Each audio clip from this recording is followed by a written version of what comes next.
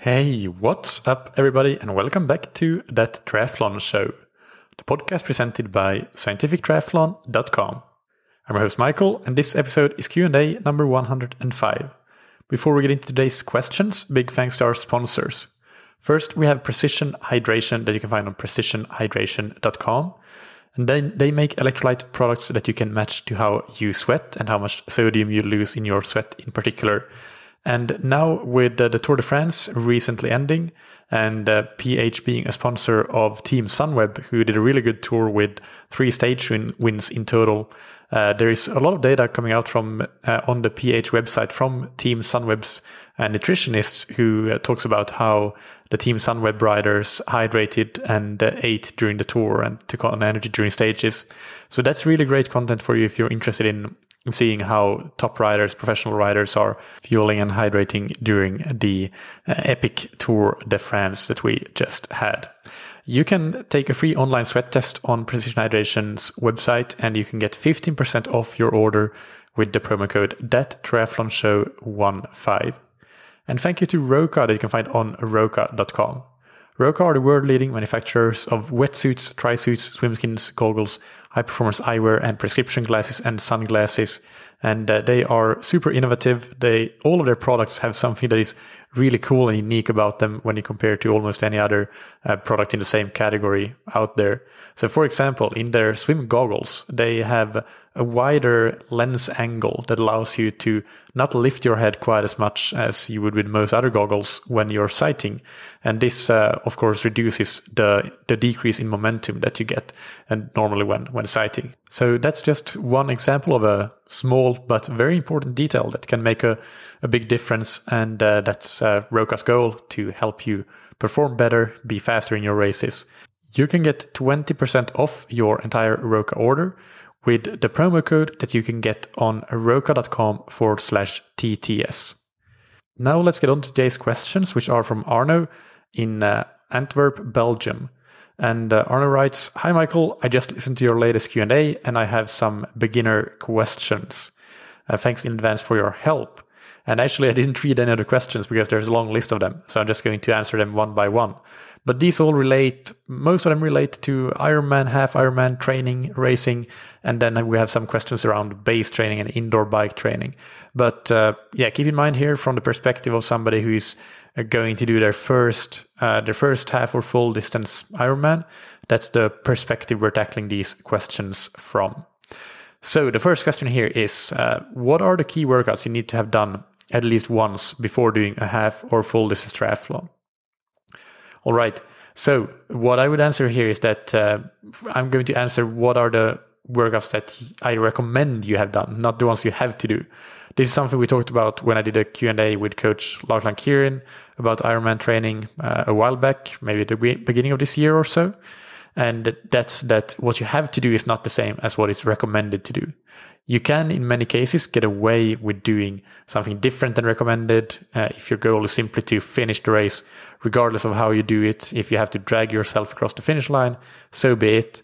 But uh, what I will answer here is what I would recommend doing, which uh, is what will hopefully make the experience much more enjoyable for you as an athlete and uh, you will feel that you have the fitness to to do the Ironman properly, and you can stand on the start line uh, relatively confident and go and do it, and you can stay in reasonably decent shape until the end and finish with a smile on your face.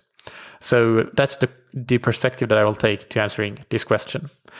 And uh, also, of course, keeping in mind that this is for somebody doing their first half or full distance Ironman, but maybe they have. Uh, I will answer from the perspective of somebody that has been doing triathlon for maybe maybe a couple of seasons, maybe just one, but one to three seasons of triathlon, and now they're moving into doing half and full distance Ironman. So, if we start with the 70.3 distance, then uh, I would simply recommend to have done the, the distance of each discipline in training. So, doing one open water swim that is at least 1900 meters, and it's important here, in my opinion, that it's an open water swim uh, in terms of biking, I would recommend having done, actually, I would recommend having done uh, two 90 kilometer bike rides, and uh, at least one of which I would recommend doing a 30 minute brick run off of it. It could be 30 to 45, but 30 is, is fine. Uh, you could do the 45 minute brick runs off a shorter bike ride as well. So yeah, I'm not too fast about it being a long brick run after the your longest bike rides. And I would recommend at least one 21 kilometer run for the Ironman, my recommendations would not be to do the distance in all disciplines, uh, but on the swim, I would recommend doing at least one 3.8 kilometer swim and uh, preferably in the open water. Or alternatively, you could do at least a three kilometer swim in the open water and then, but then do a 3.8 or a four kilometer swim in the pool. On the bike, I would recommend doing a couple of rides that are around five hours or so. They could even be six hours, but I think like the minimum uh, recommended would be a couple of rides that are around five hours. And after at least one of these, you would do a brick run that is 45 to 60 minutes long. And on the run, uh, so uh, I think that uh, if you, I'm not too fussed about having to do like a specific long distance necessarily. Uh, if you are relatively consistently putting in runs that are 21 to 25 kilometers, or maybe even in the 24 to 28 kilometer range, but even so, even if you're doing 21 to 25 kilometers and you're doing that basically every week, uh, I think that's more important than the, than doing getting in like one or two 30 or 32 kilometer runs. Uh, so I'm absolutely not against doing a 30 kilometer run by any means, but I don't think it's a must or even like a top recommendation uh, because the run after doing the swim and the bike of an Ironman is so different from running an open marathon.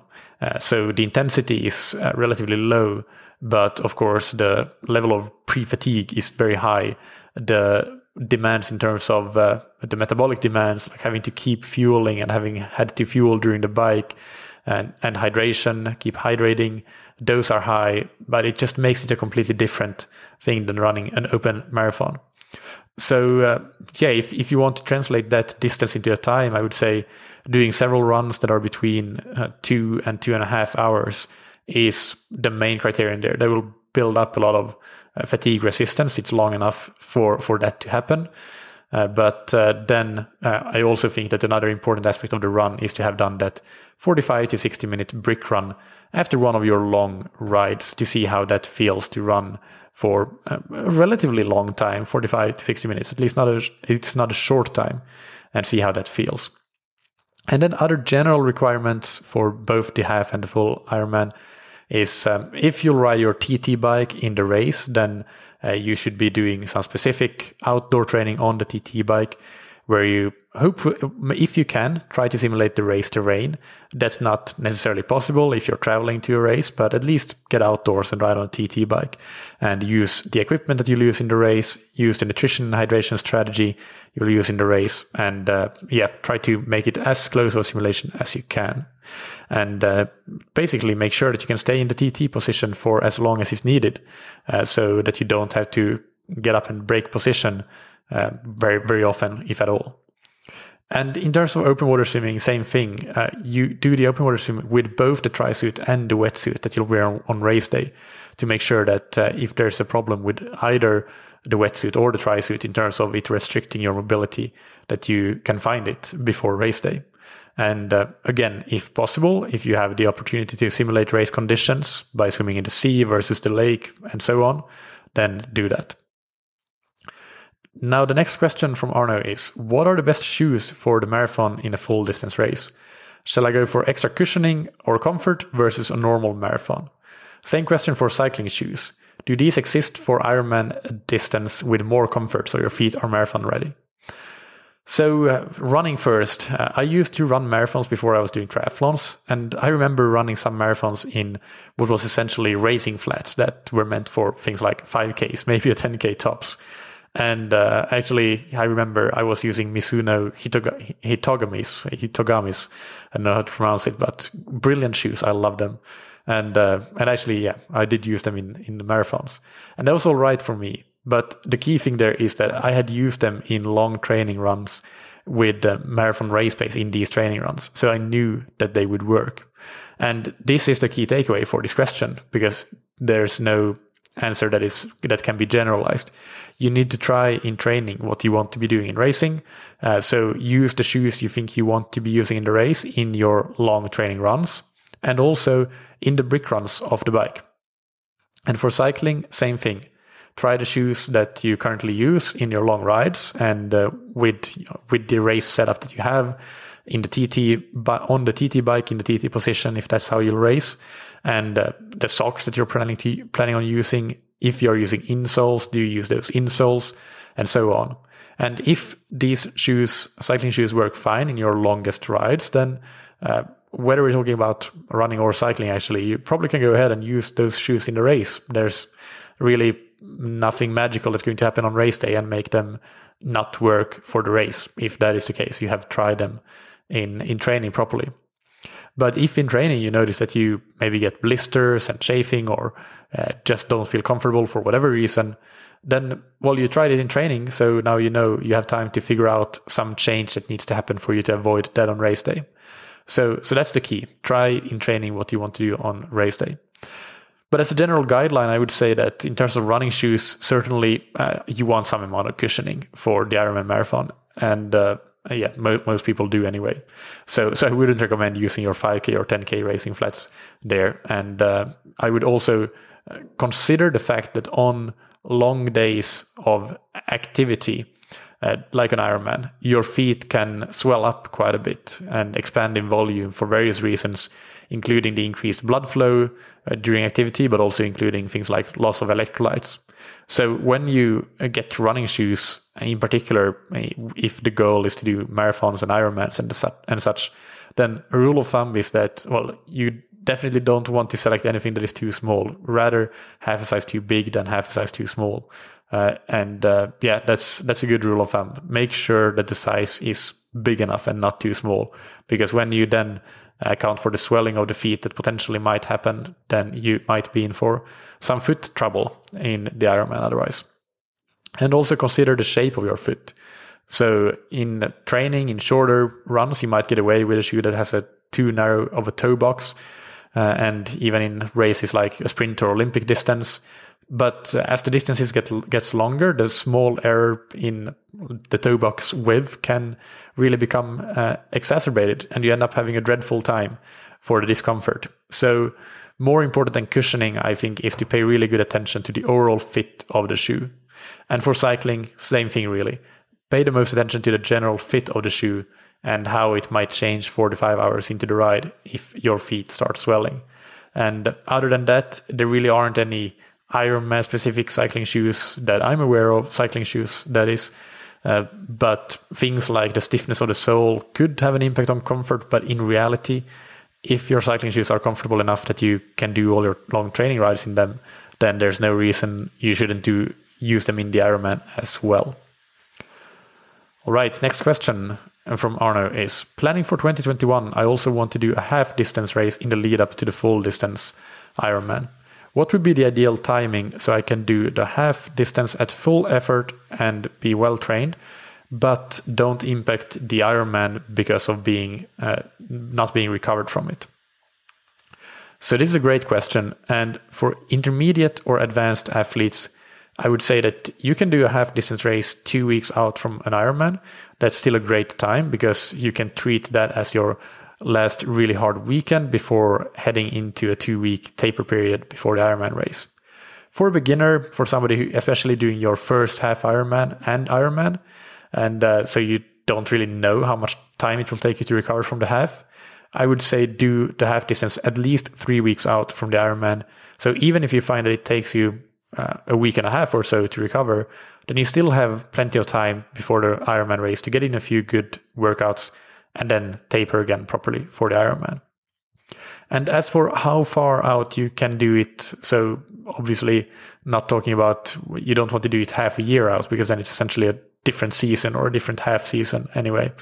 Then I I think that the the sweet spot where you want to be uh, is uh, around six weeks out. So between three weeks and six weeks out from the Ironman, you already have banked a lot of your Ironman training fitness but you will also have plenty of time to recover from the half distance race, get some more quality training in, uh, and when you have recovered from the half distance race, and then taper for the full Ironman. So that would be my my sort of suggestion. Uh, try to do a half distance between three and six weeks out from the Ironman. Next question is Is it worth to invest in a TT bike for my first Ironman or 70.3? And if not, when is it? So this is one of those questions where it really, really just depends on you. But I'll give you sort of the parameters and the constraints of this problem, and then you need to figure it out for yourself. But uh, it, it all depends on your goal for the race. If your only goal is to finish and enjoy the journey, then you can just as well do it on a road bike. There is absolutely no need for a TT bike.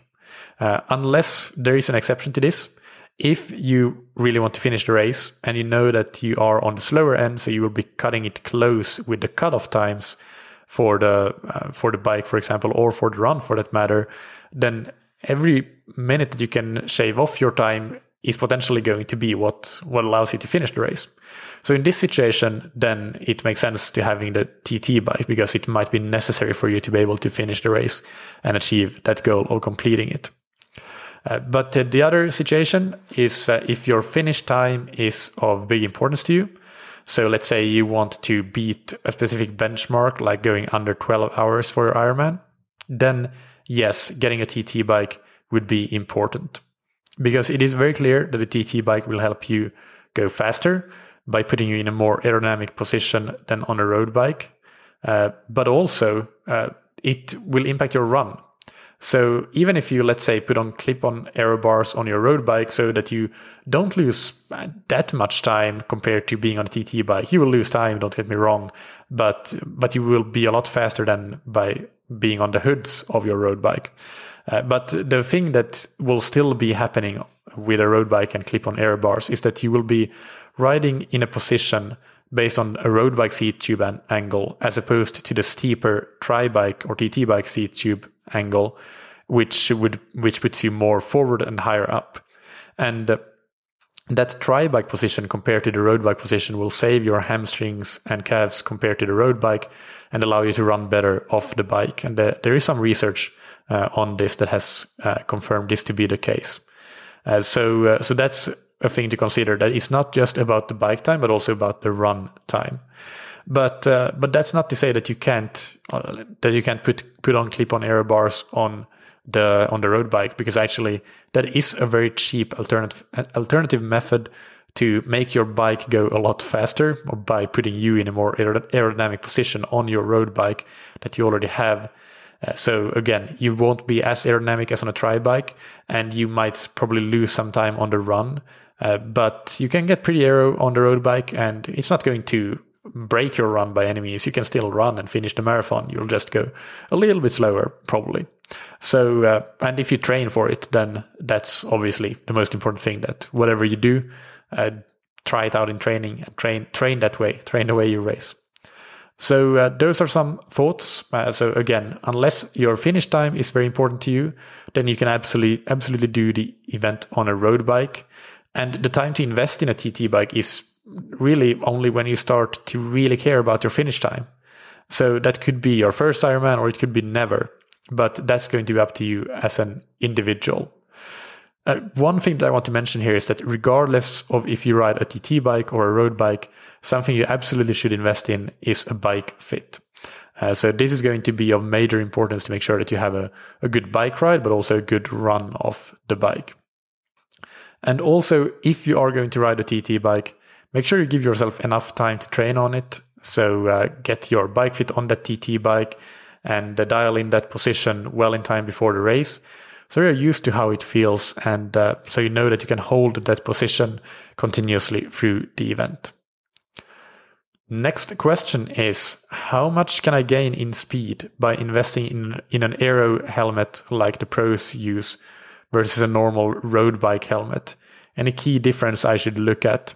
So this varies a bit, but assuming you choose an aero helmet that suits your riding position well, then as a rule of thumb that uh, Dan Bigham, for example, has published on his Watt Shop blog, I'll link to this in the episode description, is that a 75 kilogram rider riding at 40 kilometers per hour can save almost 10 watts. So at the same speed, uh, they need to produce 10 watts less if they have an aero helmet versus a normal road helmet.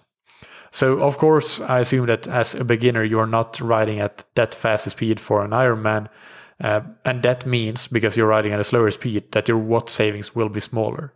But actually, your time savings should be roughly similar as a faster rider because you will accumulate those savings over a longer period of time being out there for longer on the bike course. So a rough estimate is that a good aero helmet can give you up to five minutes over an Ironman. Uh, this is something that I just did some back of the napkin, uh, checking in best bike split and, uh, and so on. So uh, yeah, just uh, as a rough rough estimate, uh, you you want to know roughly roughly how much you're going to save potentially by by investing in an aero helmet. The key thing there to look out for is how the helmet works with your head position when you're riding in your race position. So, for example, if you have a very long tail hel- helmet, but you're somebody that looks down a lot when you're riding in the TT position, then uh, that's not good because the, the tail of the helmet will just stand up straight up in the air and uh, be and increase the drag because it just increases the, the frontal area of uh, you as a as, as, a vehicle, the bike and the rider. Uh, and uh, the tail of the helmet, you want it to fade into your back sort of without an abrupt gap. That would be the ideal helmet, the one that has a tail that allows you to do that. And depending on your head position, this might be a long tail or a short tail or a medium tail helmet. So, so that's really where you want to know roughly how you have your head positioned if you're riding in the TT position, and uh, and if you are if you are not, then I think that the aero helmet. Actually, I cannot answer if the aero helmet is going to give you five minutes if you're sitting up on the road bike. Uh, that I don't know. But if you're in the clip-on aero bars on the road bike, then I think it will be roughly the same. Uh, so, and just to give you my helmet experience, I'm now using a Kask Bambino Pro Evo. Uh, but uh, I haven't really done any any testing other than visual inspection. But visually, it does look good. Like I get that uh, tail fades into back transition that I want, uh, especially compared to what I used to have with the Giro Aerohead that I used before. So I'm quite positive that the Kask Bambino is more aero for me. But that's the key thing that this is because of my head position and your head position might be different. So this is where you need to talk with somebody who, who knows a bit of what they're doing uh, when they're, when you're selecting the helmet. And ideally you want to try them on and try them on maybe on the indoor trainer with some mirrors that you can, or somebody filming you so you can see which one visually ends up looking the best. So yeah, that's, that's helmets.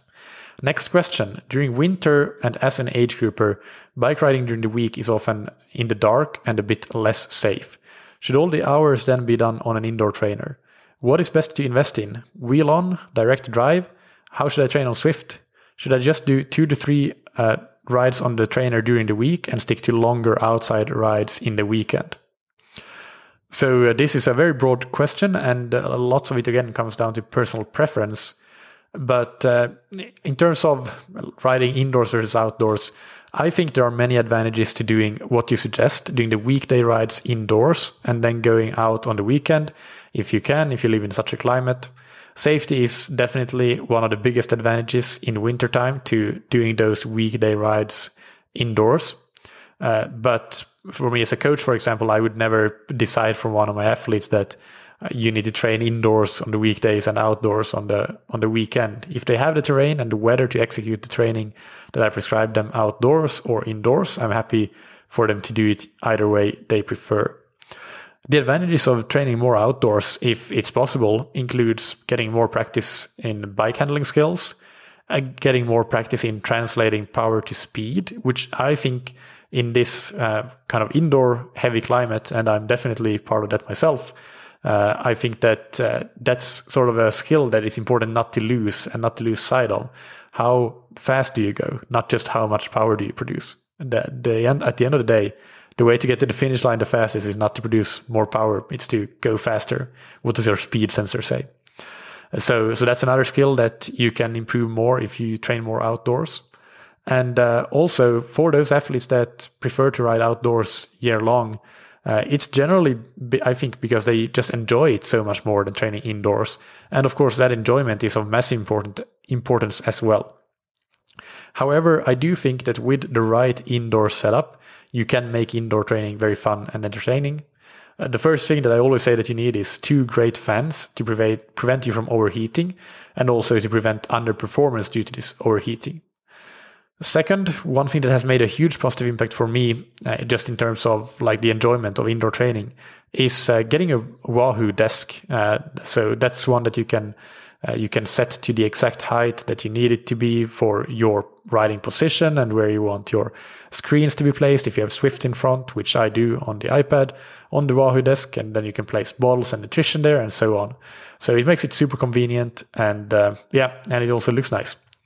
I also installed gym floor tiles so as not to get my floor all wet. I have a mat under the bike, but uh, the sweat does seep, seep through the mat. So I needed an extra layer and the gym floor tiles uh, helped me with that. So now I don't need to worry about cleaning up, like uh, wiping the floor clean after every ride. And that's another thing that makes it more enjoyable. And there are many more small but important changes like this that will make your indoor training a better and more fun experience.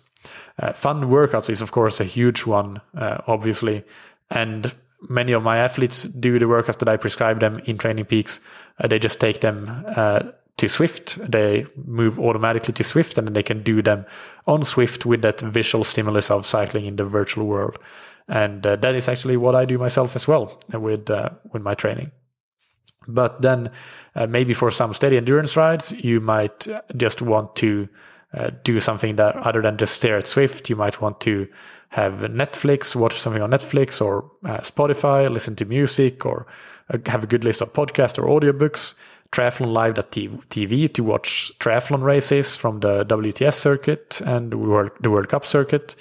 Now the tracing is on again. So really what it boils down to is in itself, indoor training is not as fun as outdoor riding because you don't have the speed, you don't have the wind hitting your face, you don't have the excitement of fast cornering, but you can replace some of those uh, really truly enjoyable aspects from outdoor riding with different but still enjoyable aspects of indoor riding. So uh, that was a bit of a, a tangent, I think. But uh, yeah, basically, it's your choice. But many athletes, I think, choose indoor training, but then they don't go all the way. They don't make the effort to make it as fun as outdoor riding. And then they kind of waste the winter not training as much as they should or would like to because they're not enjoying it. But you can make it enjoyable.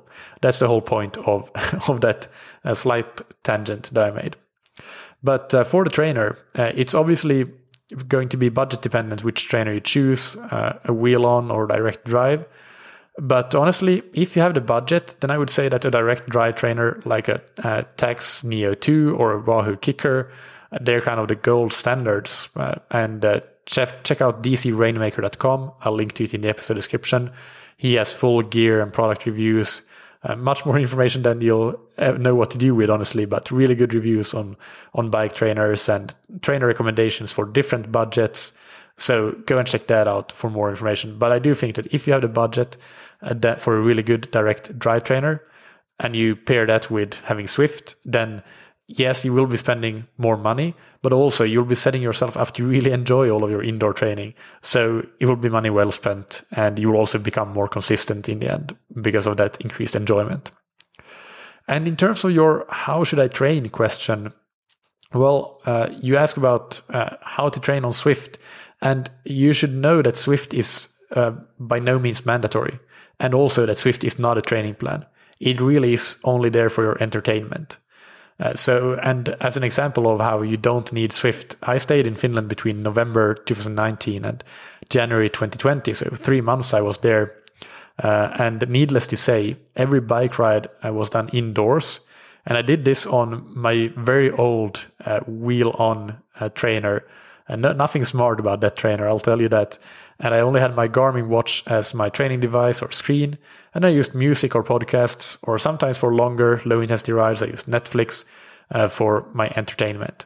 And uh, really, it was quite monastic uh, when I compare it to my setup here in Portugal, with a Tacx, uh, Neo 2 direct drive tra- trainer and Zwift for entertainment, great fans and everything. But uh, yeah, I did it for three months without Zwift and I actually really enjoyed the process of training so much that I just didn't didn't really mind. But uh, definitely, when I got on Zwift, when I got back to Portugal, it has made my indoor training more entertaining. So that's why I'm on it. But again, for you, it comes down to do you enjoy it? Do you think it's worth the monthly subscription fee? And if not, then uh, there's no reason that you have to be there. You can just uh, do your training uh, on your trainer, record it on your watch or your bike computer, and that's just as good.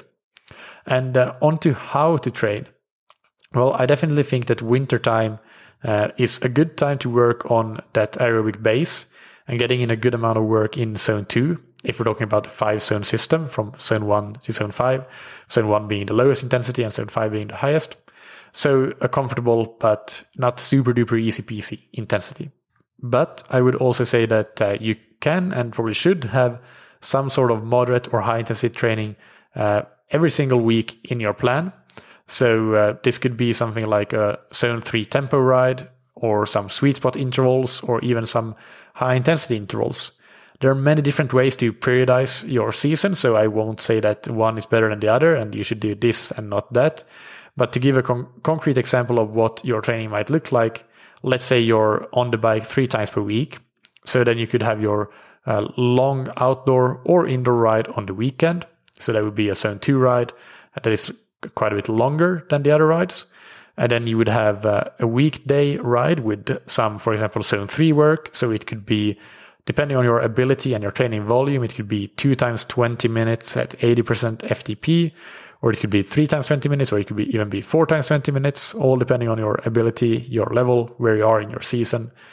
And uh, then the final weekday ride in this scenario or example could be a ride that is mostly just zone 2 riding, maybe high zone 2 riding, but with uh, some surges at very high intensity. For example, every 10 minutes of a 90 minute ride, you could be doing uh, 30 to 60 seconds at 120%, 120% FTP uh, or 130% FTP even if you're doing 30 second surges. surges.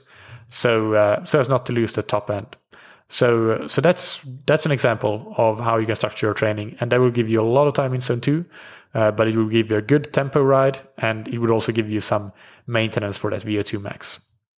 But uh, the best thing you can do uh, to really dial in your training through winter is to get a training plan, or, or even better, get a coach. And uh, I should mention at this point, because so many people are asking about it, uh, yes, scientific triathlon based training plans are coming. Uh, it's in the works, but uh, it is unclear when. So it might be November or December. So uh, that's just for all the people that have been asking. Now, the final question from uh, Arno is How long does a typical swim training week look like in kilometer or hours during your key training months and weeks for half or full distance Ironman? I normally do three kilometers per session, two times per week. When open water training is possible, the distance per session is increasing to four kilometers. So I would say that you're doing well with uh, what you're doing. Uh, for if your goal is to complete the Ironman, for example, uh, I would say that what you're doing is great. Getting your three kilometer pool swims and four kilometer open water swims, uh, that's uh, that will prepare you well enough. I, I would think two times per week. I do generally prefer to have a swimming frequency of three times per week because of how technical the sport is. Uh, because I think that frequent exposure is important to to improve that technical aspect. But if your schedule only allows for two swims per week, then uh, I would say that in the last six to eight weeks before the race, you could actually try to uh, make sure that at least one of your weekly swims would be in the 3.5 to 4 kilometer range. And uh, regardless of whether it's outdoors or indoors, have one of those swims be close in distance to to the Ironman distance. Uh, so it doesn't have to be exactly 3.8, but trying to get up to 3.5 kilometers at least as uh, as a benchmark. So so yeah, and you could even be using buoyancy shorts or wetsuit for some of those swims. Maybe not all of them, but some of them, and that would be perfectly fine. So these distance guidelines, however, uh, do change for swimmers that are on the slow end of swimming. Uh, because I would say that if you are in the pool and uh, you get to 90 minutes into the workout and you haven't done the whatever distance your program says, then at 90 minutes you've probably done enough. Uh, we're talking about beginners here, remember? So for some advanced athletes, you might actually benefit from doing longer swims than that. But uh, but at 90 minutes for beginners, even training for an Ironman, there's no need to do more than that. I don't think. So uh, yeah, I hope that this helps Arno and that I answered all your questions adequately. Thank you for sending them in, and uh, for everybody who might have questions for future episodes, uh, send them to Mikael at scientifictriathlon.com, and that's Mikael with a K. You can find links in the episode description to DC Rainmaker that I mentioned for product reviews, uh, the article by Dan Bigham on aero uh, savings from different pieces of equipment, and also some interviews that I've done on uh, on aerodynamics and aero savings from different pieces of equipment with Dan Bigham and with Josh Poertner.